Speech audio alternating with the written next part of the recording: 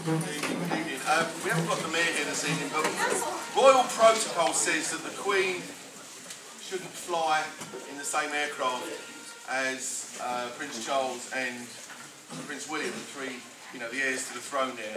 I'm not sure we should apply the same protocol tonight because in the audience tonight we have our president and we have our three vice presidents. So welcome to James, to Brian, to Daisy and to Steve, our vice president. So and our president. Welcome, our honoured guests. Just a, a, bit of housekeeping is um, if you need to pay a visit, um, I would suggest that there's a toilet at the end of the corridor, a disabled toilet up there that you can use because that's going to be our kind of stage on and off um, as best you can. When we have a break, you, you, can obviously go out there, there's a lot more toilets there, but um, if you need to use pay a visit, then use the one there. Um, it's going to be a concert of three halves tonight. And before people say you can't have three halves, is we're going to do a short performance. The band and, uh, and sorry, the bugles and band of the Rifles will give a performance, and then There'll be a mass band of all of, of, of, all of us together. So you can go to work tomorrow and say you went to see a concert and a half last night. And that's about as good as the jokes are going to get. So there'll be a quick change around, a five minute change around when we finish Romford's performance. Um, and then there'll be a proper interval for 20 minutes after the Rifles band have performed uh, for you to get teas and coffees, uh, etc. So without further ado, uh, I'm going to take you on to our programme. and we are going to start with a couple of marches, and there's a bit of an American theme to the opening part of our programme today. There's no surprise with that because this year the band is going to be going to America in, in the end of June. Uh, we're out there for a short tour as part of the July the 4th parade. We're playing in a place called Smyrna in Delaware, but we're also going to be visiting Washington and New York. So you're going to open up with two marches, one by the great John Philip Sousa called The Thunderer, and you'll have a display by the of Drums. And then the second march is by a composer called Edwin Bagley, um, and it features the national anthem of the United States, the Star Spangled Banner, uh, but it's called National Emblem. So to conduct the opening section, would you please welcome the band's musical director, Samantha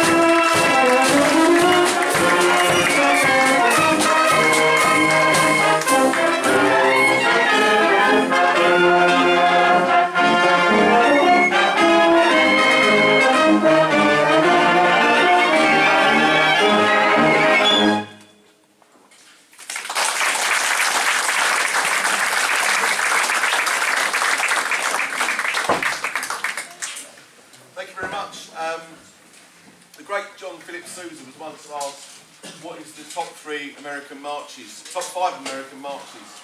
And he picked four of his own marches um, that he said were in his top five. Um, so there's no praise like self-praise, I guess. But the one march that wasn't his was the second one we just played, National Emblem there. Um, and I think it's one of the best ones. Um, as I mentioned, we're off to Delaware in uh, of June. And uh, this is our third, will be our third trip the band had undertaken to the United States. Uh, the first one was back in 2004, 2004. We went to Chicago. Uh, 2010 we went to Delaware. And um, on our first trip to America, we, we got a medley written that featured lots of American music. Um, and it was arranged by um, someone from a, a, very talented family of music. Uh, my cousin wrote it. Um, but it, it features um, the music to start with of Neil Diamond coming to America. You get a little glimpse of West Side Story uh, with America. Uh, then you get Yankee Doodle Dandy. You get a little snippet, literally a little snippet of the United States national anthem. Their big hymn, America the Beautiful. Um, and then it finishes off with the Battle Hymn of the Republic um, towards the end there. So it's a whole medley of pieces uh, with America as, it, as its theme, and uh, we'll be playing it this year when we go to, uh, to go and see Uncle Sam.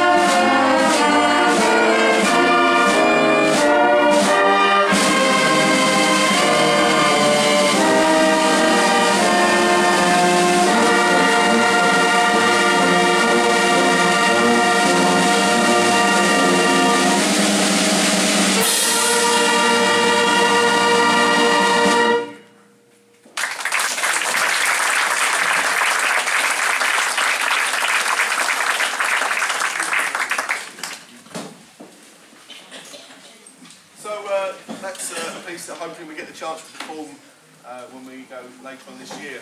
Um, one of the biggest projects we've done in recent months, um, which was sort of finished the end of our 60th year, was uh, do a CD. Uh, and there are some CDs available this evening um, of a piece of work we did basically towards the end of the year, and it featured a whole uh, collection of tracks really that were inspired by stage and by screen. We spent two days recording it up here. We released it just before Christmas, um, but there's the opportunities there. there. You might missed Valentine's Day, but it's a good Mother's Day present if you want, a good Father's Day present coming up there. Um, so please uh, get a chance to get one at the canteen there. So we're going to play a couple of pieces that we recorded there to give you a taste of what the CD is about. Um, the first one really was is, is from a 1992 animated film that was then re-released um, in the last year or so as a full action, full live um, story really, and it's, it's set in France and um, tells the story basically of Beauty and the Beast. Um, and so the, this next piece now is highlights from the actual film of Beauty and the Beast.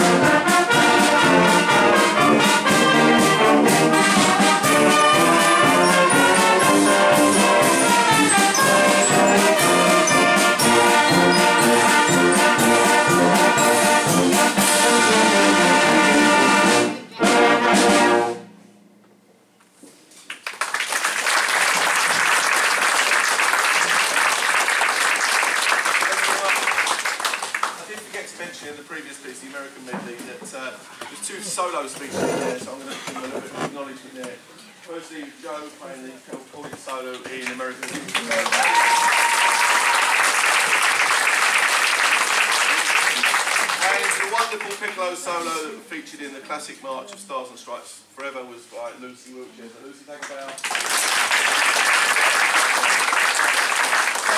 Back to our CD, and uh, so the second track we've picked, there's, there's 12 tracks on the CD, but the second one we're going to play for you tonight is one that was um, from a film, a whole series, a trilogy of films, I think, um, called Twilight. What is it? Twilight Saga. I haven't seen the film. Um, but it's a wonderful piece of music that was it charted. Uh, one of the pieces from it by um, an artist called Christina Perri.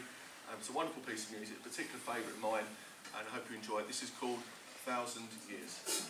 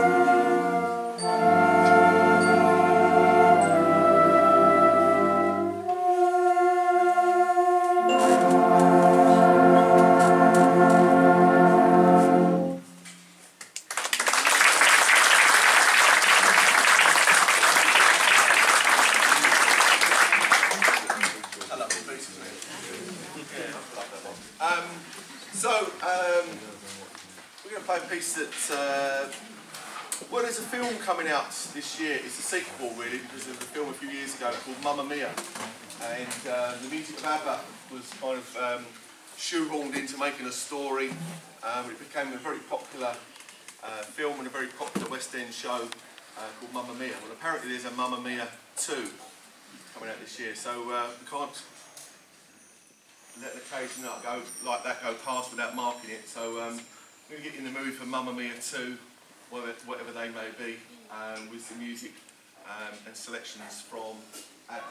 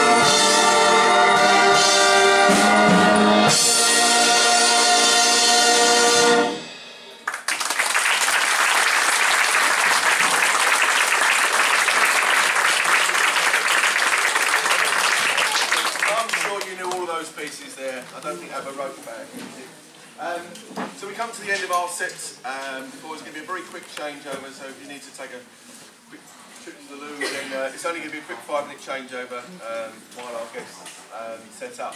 And um, we've been working with them all day today, uh, the band and the, bugles of the Rifles, and they are famous for being a, a light infantry um, part of the, of the army. And the light infantry, they do everything at speed. So even their marching is done at like 140 paces a minute there. Um, so a bit of a tribute to them there. We thought we'd finish with something that goes a bit fast. Uh, the inspiration for this was taken from 1994, um, at the midpoint of the Eurovision Song Contest um, in Ireland. Uh, there's a piece of music uh, introduced Irish dance into the world with a piece called Riverdance. Now, Riverdance uh, promoted the, um, the career, if you like, of Michael Flatley, who then went on to produce his own show, toured the world, called Lord of the Dance. And the piece of music from there is, is an old shaker hymn uh, called Lord of the Dance there, but it features uh, basically the drumming, of, like the dancing, and it's quite fast and furious. And so um, this is what we're going to end with today. And it starts off with uh, piccolo solo. Back to you again, I'm afraid, uh, Lucy. And so this is Lord of the Dance.